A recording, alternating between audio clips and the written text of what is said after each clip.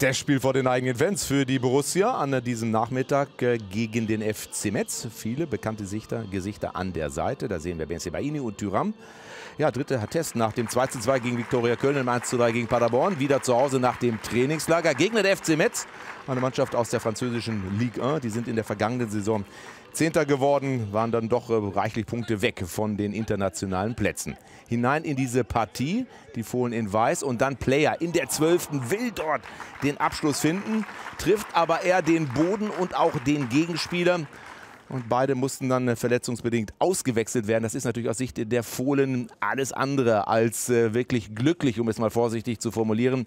Denn mit Benzi Baini und Stindl gibt es da schon und auch Embolo Personal, wo du nicht genau weißt, wann die wieder auf den Fußballplatz zurückkehren. Ja, bittere Geschichte für die Fohlen so früh in dieser Partie. Dennoch blieb der Zug drin in dieser Partie, die ja mit Kramer, Hermann und Wolf und Bayer und eben jetzt hier Hermann und Leiner schon auch namhafte Spieler auf dem Feld hatten. Am Ende fehlte so die letzte Konzentration und die letzte richtige Entscheidung Richtung Abschluss. Der Schuss von Hermann wird hier geblockt. Von den Franzosen in der ersten Halbzeit so gut wie gar nichts zu sehen. Lag natürlich daran, dass die Fohlen wirklich gut Tempo und Druck machten. Auffällig dabei mal wieder Hannes Wolf, Bennett und dann wieder Wolf und der Schuss wird dann abgefälscht. Ansonsten steht es hier 1 zu 0 für die Gladbacher. Trainingslager war sehr, sehr überzeugend. Alle waren sehr, sehr glücklich über die intensive Woche. Die Hütte hatte sich mit einer Rede bei allen Beteiligten bedankt. Der anschließende Eck war getreten von Hermann und dann die hundertprozentige für Keenan Bennett. Der steigt aber nicht zum Kopfball hoch, was man grundsätzlich beim Kopfball machen sollte, um ihn dann von oben nach unten zu drücken. Hier in der Zeitlupe noch einmal gut zu erkennen. Also das sollte dann normalerweise auch das 1 zu 0 sein in der 36. Die nächste Möglichkeit geht wieder über Bennett und Bennett macht es diesmal alleine.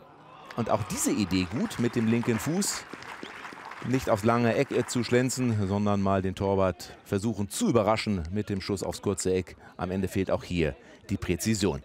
Die nächste hundertprozentige gab es dann in der Nachspielzeit für das Team von Adi Hütter. Und zwar hatte die der Weltmeister, Christopher nicht Christopher, sondern Christoph Kramer. Aufgepasst, entwickelt sich diesmal über die linke Seite. Und dann Wolf sieht da, wie Kramer einläuft und der setzt den Ball auch gut an. Allerdings fehlt so das letzte, ja, wie soll ich sagen, Quäntchen Glück, Schuss, Konzentration, um diesen Ball dann auch unterzubringen.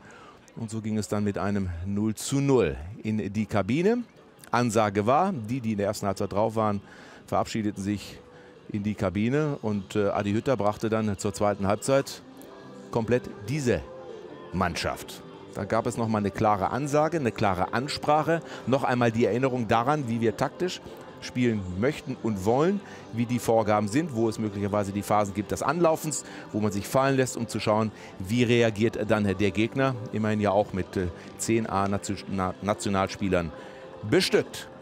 In dieser zweiten Halbzeit, ich nehme es mal vorweg, passierte bis oben, schauen wir auf die Minute 87, überhaupt gar nichts. Und dann kam Connor Noss.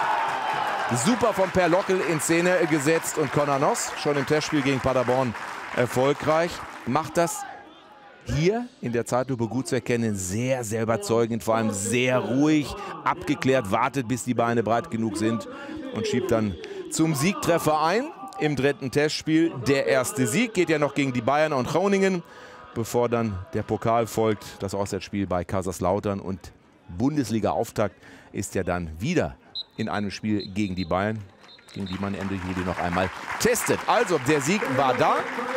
Der Trainer wird viel gesehen haben und mitnehmen können, um dann zu reagieren für die nächsten Aufgaben im Training als auch in den Testspielen.